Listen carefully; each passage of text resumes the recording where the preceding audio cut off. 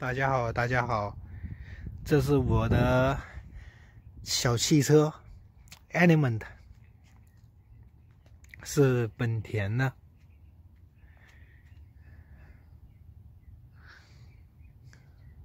这个车一共四个座，不过给我的感觉啊，它后排空间是脑非常大，后排空间啊。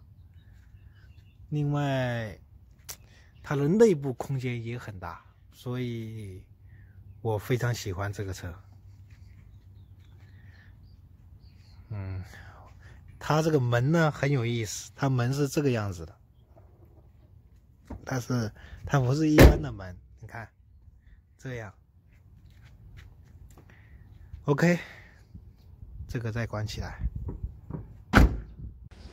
Hello，大家好，我现在的这个时间呢，已经很早了，大概是六点来钟吧。我现在，我还说个什么事情呢？我过个几天啊，现在我不是正在找房子嘛，找房子。第一，我这边怎么说呢？他许多人都要求长租，比如说至少他要租三个月呀，三个月已经许多是要租半年长租。如果是租一个月、两个月的话，啊，租金就相对而言比较高了，而且许多人他也不愿意租嘛。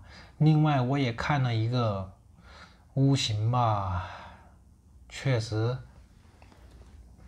不太喜欢这边呢，我在我在加州也租过好多房子，美国吧，租房子呢，它不叫它会押一付一嘛，在中国也是，但是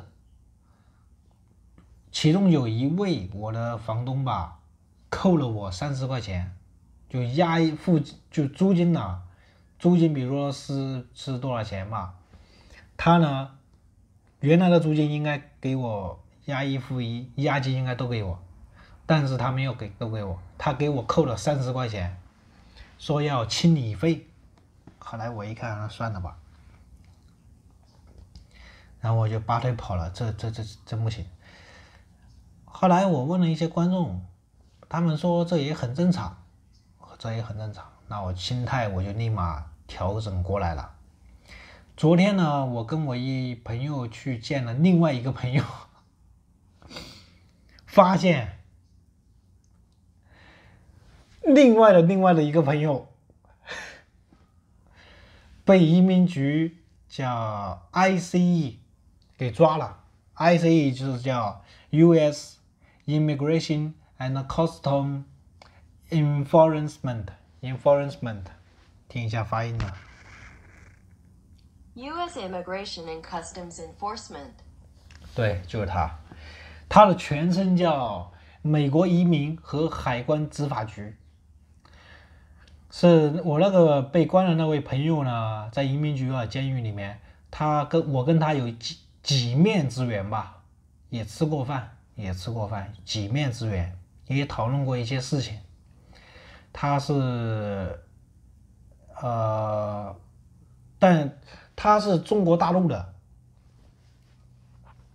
但是呢，后来他又移民到海外，不知道怎么回事，这回在美国这边又被，呃，给逮了吧？是去移民局去拿结果的那一天，被 IC 蹲点给抓了。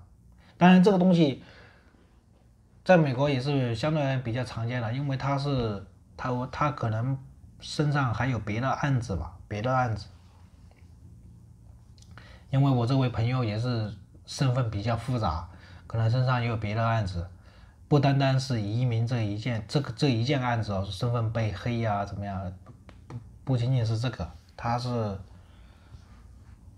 身上有一些经济案件嘛，毕竟是从事做生意的，可能经济案件，美国的就是政府部门，他会协助中国政府做一些调查。